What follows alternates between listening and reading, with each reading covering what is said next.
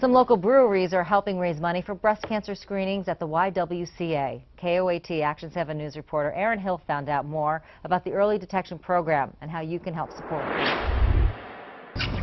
It's called the Peekaboob Porter, a special beer at La Cumbre Brewing Company, just on tap for the next few weeks, but what the brew represents goes far beyond that. The Peekaboo Porter is something that we're doing um, for um, the month of October um, for breast cancer prevention. So here's how it works. Every time you order one of these, their Peekaboo Porter, a dollar of that purchase goes to support women here at the YWCA. Oh, it's really nice, and the breweries have been so gracious in order to do this. Amy Whitfield is the president and CEO of YWCA New Mexico.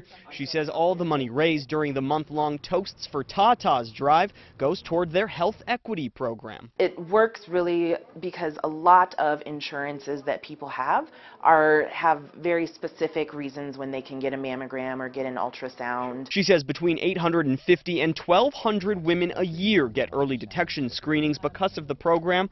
La Cumbre says they're happy to be able to help, especially during Breast Cancer Awareness Month. We want to make sure that we're giving back to our community as much as they give back to us. In Albuquerque, Aaron Hill, KOAT Action 7 News. Four other local breweries are also participating, Turtle Mountain, Chama River, O'Neill's, and Gioco. While